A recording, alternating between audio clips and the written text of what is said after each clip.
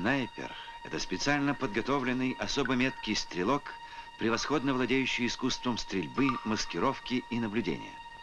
Снайперу в бою предоставляется значительная самостоятельность в решении боевой задачи, поставленной командиром. По малозаметным признакам он должен отыскать цель и, выждав удобный момент, поразить ее в самое короткое время первым выстрелом.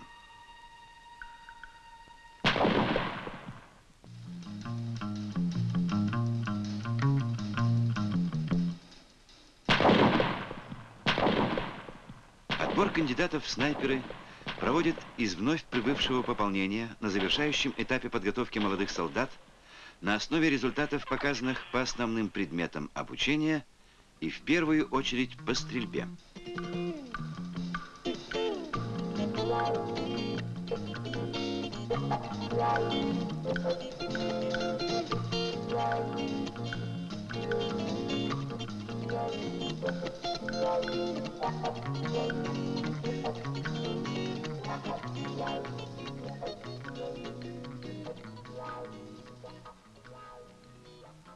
Взвод выполнял начальное упражнение стрельб из автомата. Лучших результатов добились. Рядовой Константинов. Я выбил 28 очков. Рядовой Ширинов. Я 27 очков. При отборе кандидатов в снайперы особого внимания заслуживают те военнослужащие, которые имеют спортивные разряды по стрельбе, занимались охотой, по характеру выдержаны, наблюдательны, обладают хорошей физической подготовкой. Кандидатуры на должности снайперов намечаются командиром подразделения и подаются в штаб части, где они рассматриваются и отдаются приказам. Товарищи офицеры, мы должны обсудить кандидатов на должности снайперов. На основании полученных сведений, характеризующих молодых солдат, и индивидуальной беседы с каждым из них, мы должны отобрать самых достойных. Товарищ старший лейтенант, вызовите рядового Константинова. Рядовой Константинов. Я. Войдите. Есть. Товарищ подполковник, рядовой Константинов для беседы прибыл. Товарищ Константинов, откуда вы родом? Кто ваши родители? Чем занимаются? Родился я в поселке Таежный Иркутской области. В семье охотника. Мой отец охотник-промысловик. Мать работает в зверосовхозе за техником. На стрельбе вы показали высокие результаты. Вы занимались охотой? Я занимался стрельбой. До призыва в армию я был в сборной команде техникума по биатлону. Какой спортивный разряд вы имеете? Первый. Товарищи офицеры, у кого есть вопросы к Константинову? Вопросов нет. Нет. Товарищ Константинов, вы назначаетесь кандидатом в снайперы. Вызовите рядового Ширинова. Идите. Есть.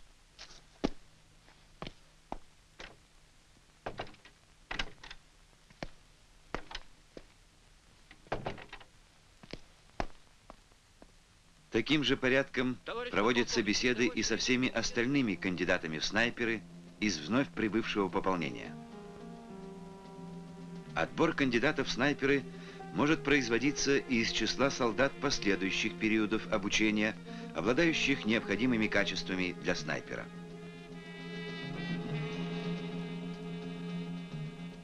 Товарищи, согласно приказа по части, для организации 30-дневных сборов со снайперами начальником сборов назначается старший лейтенант Андреюк. Я. Садитесь. Есть. Командирами отделений назначаются от первого батальона младший сержант Кадыров. Я. От второго батальона старший сержант Григорян. Я. От третьего батальона сержант Гегаури. Я. Садитесь. Есть. Общее руководство сборами возлагается на заместителя командира части майора Сергеева. Сборы снайперов проводить на учебном центре Камхут. Начало сборов с 1 августа. Для руководства и подготовки к занятиям использовать план проведения сборов со снайперами, курс стрельб и стрелкового оружия, методику огневой подготовки мотострелковых подразделений, наставление по стрелковому делу снайперская винтовка Драгунова, учебно-методическое пособие подготовка снайпера, методические сборы с начальниками сборов и сержантами-командирами отделений будут проводиться в масштабе соединения с 10 июля.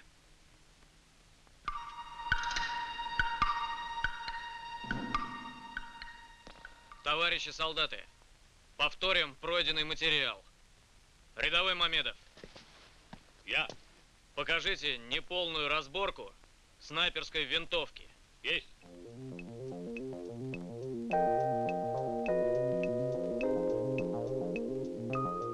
Подготовку снайперов следует проводить на основе принципа соблюдения последовательности в обучении теории и практики, перехода от простого к сложному. Важнейшим условием для твердого усвоения предмета служит повторение ранее изученного материала и регулярное проведение тренировок и днем, и ночью. Кроме того, должны учитываться индивидуальные особенности каждого обучаемого, которые помогут ему достигнуть наибольших результатов, развить свои способности, добиться мастерства в снайперском деле. В ходе сборов со снайперами в первую очередь изучается материальная часть снайперской винтовки, боеприпасы, приборы прицеливания и наблюдения. В последующем изучаются приемы и правила стрельбы, отрабатываются вопросы разведки целей, наблюдением, выбора и оборудования огневых позиций. Занятия по огневой и тактической подготовке проводятся на учебных местах войскового стрельбища и на тактическом поле. Производство выстрела из винтовки складывается из ряда приемов. Прежде всего нужно изготовиться к стрельбе, то есть занять определенное положение для стрельбы, обеспечивающее необходимую устойчивость винтовки. Обучение приемам изготовки для стрельбы производится в такой последовательности. Производится образцовый показ приема в целом. Затем по элементам с кратким объяснением.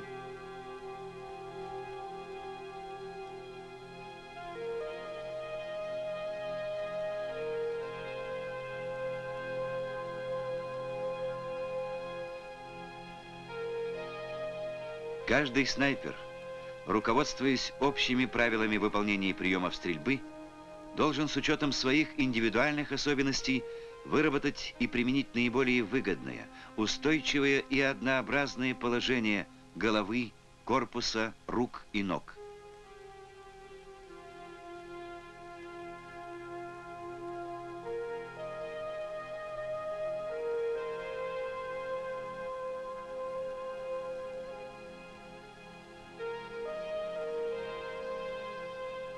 Автоматизм в выполнении приемов достигается постепенно, путем многократных повторений.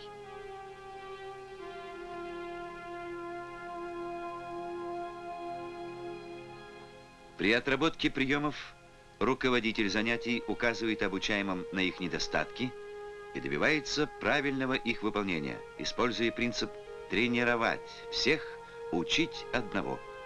Прикладка имеет существенное значение для меткости стрельбы. Для получения однообразных углов вылета и сохранения кучности стрельбы необходимо учить, чтобы обучаемые приклад винтовки упирали однообразно. Должно быть ощущение плотного прилегания к плечу всего затыльника приклада. Командиры отделений обязаны добиваться от обучаемых строгого выполнения всех правил изготовки для стрельбы.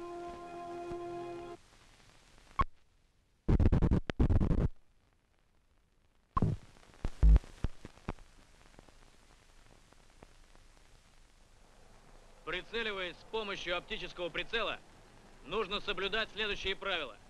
Первое. Совместить глаз с выходным зрачком прицела.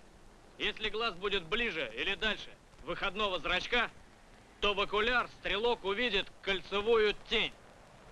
Потренируемся в выполнении этого правила.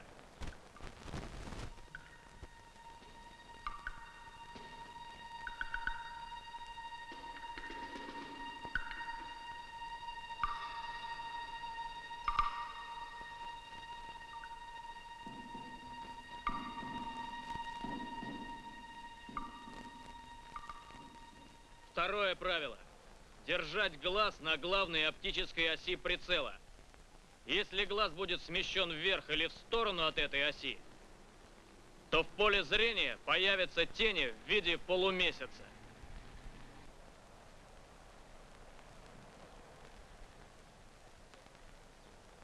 Эти тени находятся в той стороне окуляра, куда отклонился глаз от оптической оси.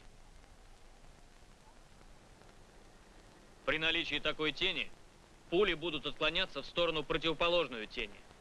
Чтобы правильно прицелиться, нужно навести острие прицельной марки в точку прицеливания и следить при этом, чтобы поле зрения прицела было чистое, без затемнений. Навыки правильно располагать глаз относительно окуляра вырабатываются путем систематических тренировок.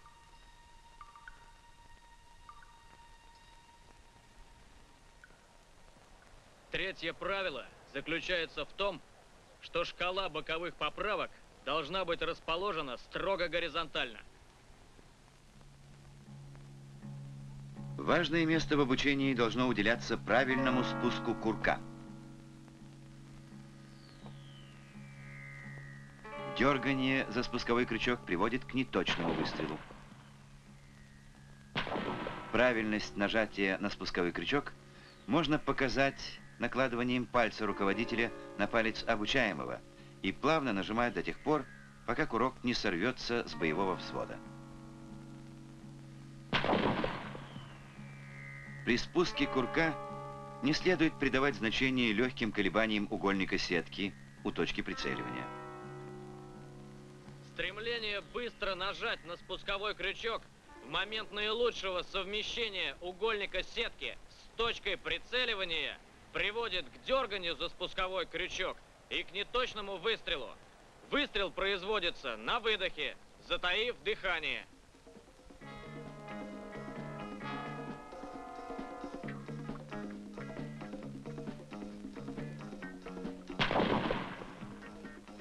Каждому упражнению учебных стрельб предшествует выполнение дополняющих друг друга подготовительных упражнений, совокупная отработка которых обеспечивает обучение умелым действиям с оружием, меткой стрельбе, умелому применению правил стрельбы.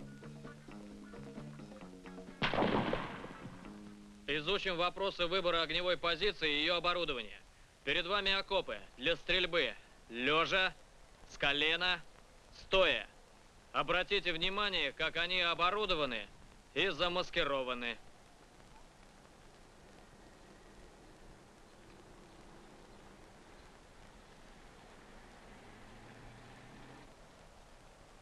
Сейчас вы видите эти окопы с расстояния 500 метров. Обратите внимание, как они сливаются с местностью. Правый окоп хорошо наблюдается. Маскировка является неотъемлемой частью боевой деятельности снайпера. Как бы хорошо военнослужащий не владел оружием, каким бы обученным стрелком ни был, но не умея в совершенстве маскироваться, он не может считаться подготовленным снайпером. При маскировке следует учить оценивать рельеф, фон и другие условия местности с тем, чтобы правильно выбрать огневую позицию и скрытно ее занять.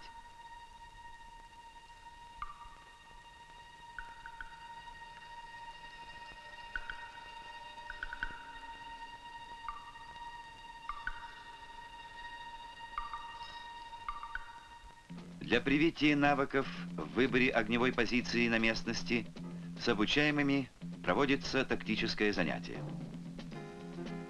Руководитель занятия вводит обучаемых в тактическую обстановку, указывает ориентиры и проверяет, правильно ли обучаемые выбрали маршрута движения на поле боя и наметили места для остановок. Проверив правильность выбранных маршрутов движения и намеченных мест остановок, руководитель приступает к тренировке обучаемых.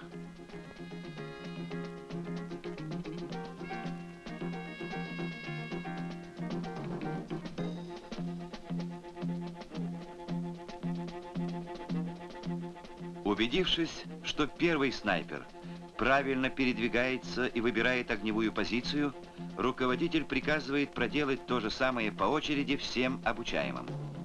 Если снайперам будут допущены ошибки в выполнении отрабатываемых приемов, руководитель возвращает его в исходное положение, и действия повторяются.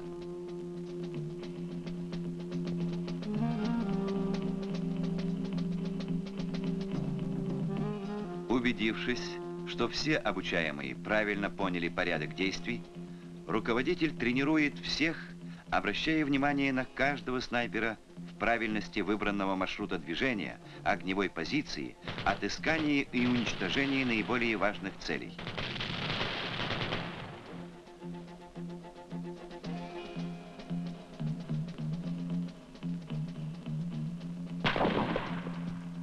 Переходом в атаку снайпер передвигается перебежками от одного рубежа к другому.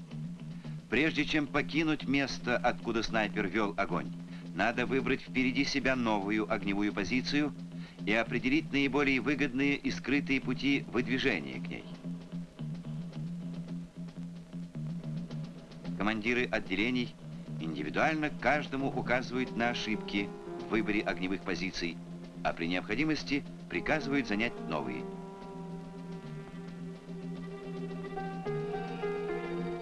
Выбор огневой позиции снайпера зависит от конкретной обстановки и местности.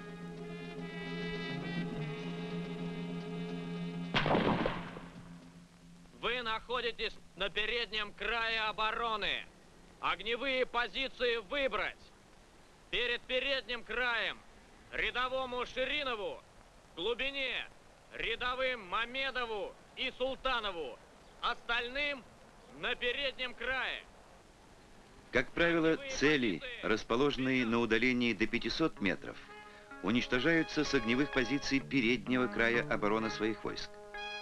Для решения огневых задач по целям, находящимся на удалении более 500 метров, огневые позиции могут выбираться перед передним краем своих подразделений.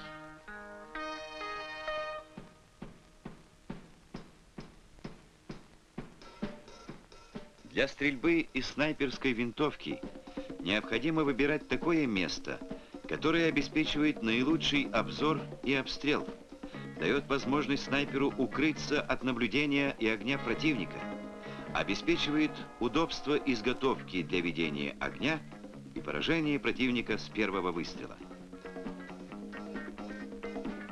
Первая траншея больше подвергается наблюдению и огневому воздействию противником. Поэтому в ряде случаев выгодно выбирать огневую позицию в глубине взводных опорных пунктов.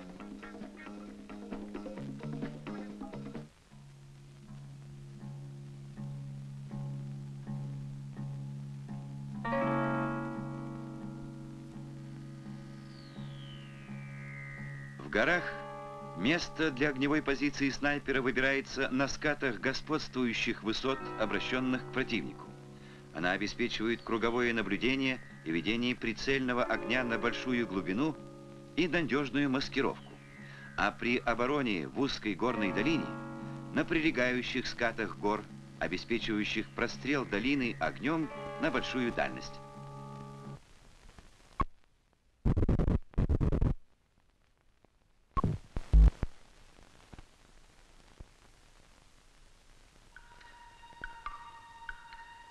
Получением задачи от командира подразделения снайпер обязан оценить и изучить характер действий противника и местность в своем секторе обстрела. Для этого необходимо произвести общий осмотр местности невооруженным глазом.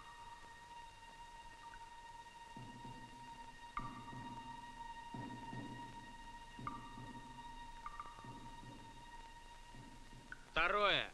Наметить ориентиры, то есть местные предметы на различных направлениях и рубежах, где наиболее вероятны действия противника и появление снайперских целей. Ориентиры нумеруются справа налево, от себя в глубину. До них определяется дальность и составляется схема наблюдения за местностью. Составив схему наблюдения, необходимо приступить к дальнейшему изучению местности при помощи оптического прибора. Для контроля за правильностью действий обучаемого используется ортоскоп и другие приборы командирского ящика. Местность осматривается неправильно. Необходимо осматривать по зонам в указанном секторе. Наблюдение начинается с ближней зоны и ведется по условно обозначенным рубежам от себя в глубину, путем последовательного осмотра местности и местных предметов. Открытые участки местности осматриваются быстро, закрытые более детально, подозрительные места изучаются особенно тщательно.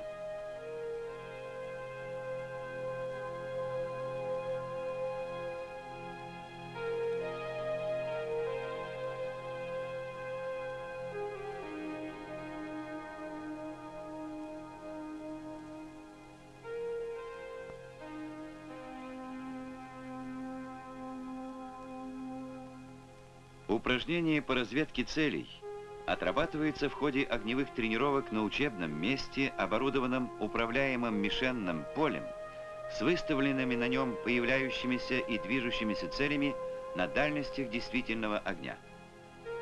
Выполнению упражнений предшествует изучение приборов стрельбы и наблюдения, способов определения дальностей и целеуказания.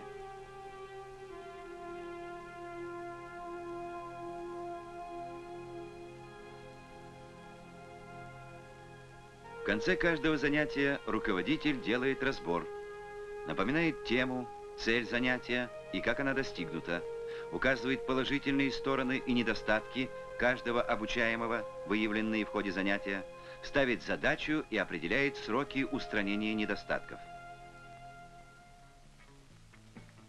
Сборы снайперов завершаются выполнением упражнений контрольных стрельб и комплексным занятием. План проведения занятия и состав комиссии для проверки уровня подготовки снайперов утверждается командиром части.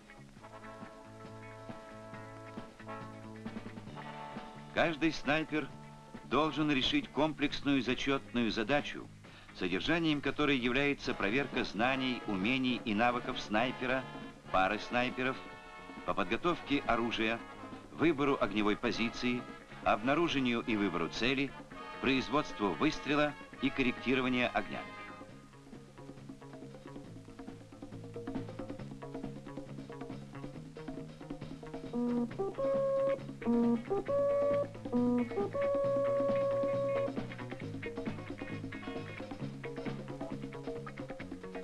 Рядовой Константинов к бою готов. В атаку! Вперед!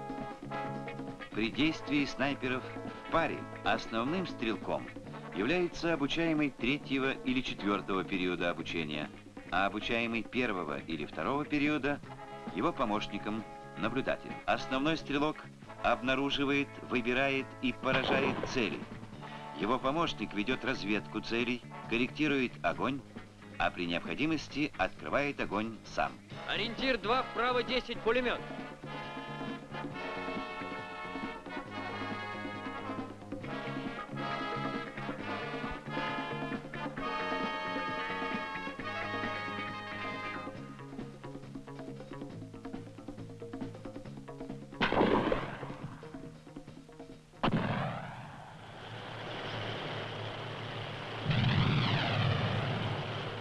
Дальнейшая подготовка снайпера совершенствуется в ходе выполнения упражнений учебных стрельб, боевых стрельб в составе подразделения и тактических учений с боевой стрельбой.